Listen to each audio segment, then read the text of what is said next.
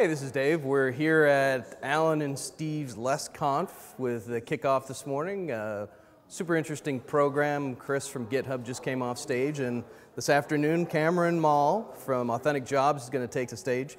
Uh, sounds like you're the resident designer professional guy in the house. So. Yeah, I guess I'm supposed to bring some of that to this conference, right? We got to break things up a bit. Yeah.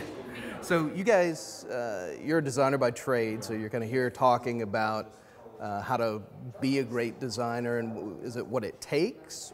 This presentation, the way I've tried to structure presentations like this is to help people understand some of the principles you know, we're talking like a half dozen principles at best. Within an hour, that's about all the time I have. And uh, these, these span everything from inspiration to visual hierarchy. Um, some of the things that I've really found to be the more important things out there because as a designer, as a coder, whatever you might be, there's all kinds of things you can specialize in and, all different kinds of, of knowledge and, and whatnot. Um, I've tried to really narrow that down to you know a half dozen or so things that people can understand and, and practice and, and apply in their in their positions wherever they work.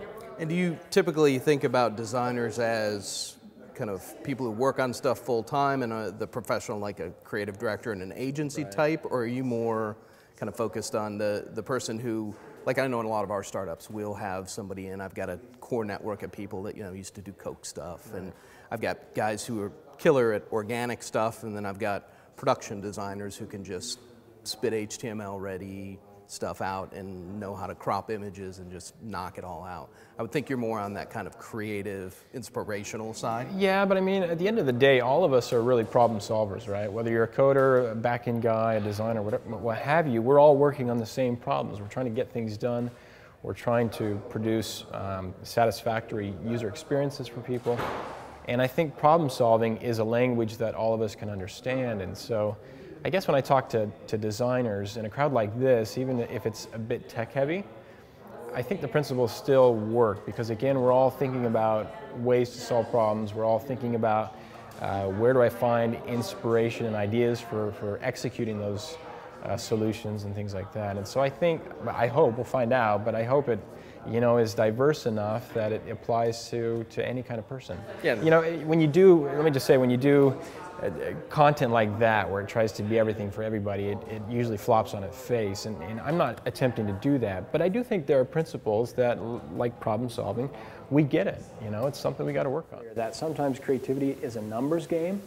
And so if I can push myself through enough bad ideas, um, eventually some good stuff is going to come out. We could probably do this whole session on great versus bad design, where I talk about all the horrible stuff I produced. Mm-hmm. It's a lot. Mm-hmm. Um, and I think that would demonstrate that I'm really no different than, than anyone else. Maybe I've just had the tenacity to work through it, and I've gotten to that 21st idea instead of stopping at the 20th before that burst of creativity happened. Well, Cameron Moll's um, stuff about like where you, where he finds inspiration and how he sort of talked about his journey from being like sort of um, where he has it, his sort of design process is like really really inspirational.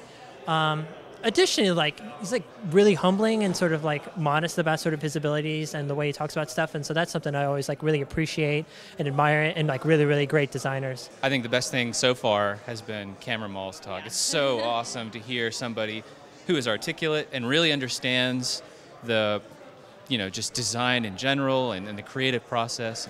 That's that's just great. A lot of people probably spoken about Cameron. Uh, uh, he's uh, he's kind of a one of the new school, really iconic designers out there who's got a lot of really, uh, you know, $10 uh, tidbits. Uh, and uh, his commentary on uh, finding inspiration and influence was really, really kind of spoke uh, and hit home for me. I thought all the speakers were great. My, they were all excellent. My favorite so far is Cameron Moll. I think his design stuff was excellent, spot on. He was great. I agree. And you guys have actually, in addition to coming around and talking to folks about being a designer, you guys have a site called Authentic Jobs right. that's actually a kind of a marketplace for design jobs. Tell me a little bit about that. Yeah, so that started as kind of a, a favor on my own blog about five years ago. Uh, I had companies coming to me saying, Cameron, do you know a guy that can do this? We're hiring at Apple or wherever. And I'd usually say yes, but they're all busy, or no, I don't, but I'll, I'll just throw something on my side and, and see what comes of it. And I got enough of those requests that eventually I had these, these, um, these requests from employers coming in. I was kind of manually doing this in movable type, and it was just a mess. I invested a couple thousand dollars in having a back end built to automate it, and, and as they say, the rest is kind of history. And I think we remained focused on, on creative web and design jobs. Uh, we didn't try to be a monster.com. And we really got serious about connecting people to, uh, or I guess connecting employers and designers, developers, what have you, together that's our primary focus. We've got a, a money back guarantee. You know, if people don't find each other, we're happy to refund their money. We really don't want their money if people aren't finding each other. And so I think that passion has driven what the site has become and, and it turns five this September and I'm blown away. This was, you know, this was just started as kind of a favor on my side and here it's a full grown business that now provides most of my income. So I didn't expect that, but it's been a pleasant surprise. That's great.